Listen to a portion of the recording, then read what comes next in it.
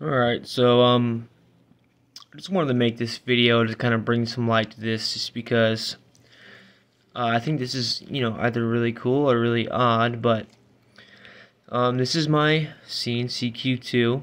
I got this from the Amazon Hawink store.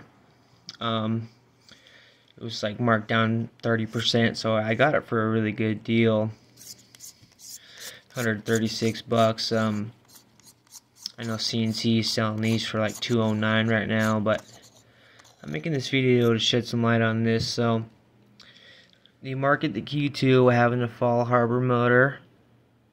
You can see it, but it's not going to focus. But you can kind of see a Faulhaber stamp there.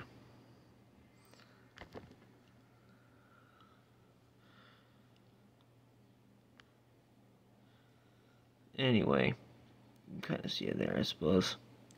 It's not going to want to focus because it's like, anyway, the point of this video is not so I can make a high quality video. I just want to shed some light on this. Anyways, this my Q2 has this housing around it.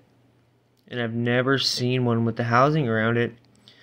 Um, I've talked to a few other folks. They said that they've heard, and I've read places too where they've had problems with like uh, this the motor falling out or it's just held in there with a piece of glue, etc. And so I don't know. I've just never seen one with a um, housing around it. This has the 4 millimeter stroke on it. So this is my Q6 over here.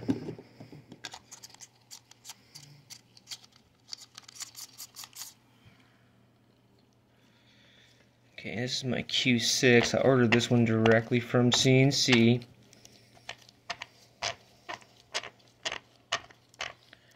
Took like six days to process my payment and like another two weeks to get it, but similar housing. This this one doesn't have the Faulhaber. This has their Japanese brushless motor or whatever, but similar housing. So this is in the Q series family Q6, like I said.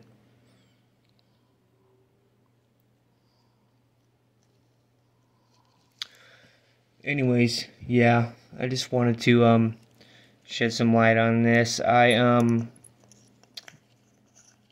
tried to make a video and upload it to the Amazon where I got the Q2 from, but it's been processing for so many days and I don't think they're going to put it up there, but anyways. Yeah, uh, Amazon, the Halloween store, got it for 136 bucks. Works great. Nice and strong. It's a win-win wireless battery. I got this for like 30 bucks, I think. But anyways, yeah, if uh, anyone could like let me know if you've ever seen a Q2 with that housing or let me know what's going on, that'd be really cool. Anyways, thanks.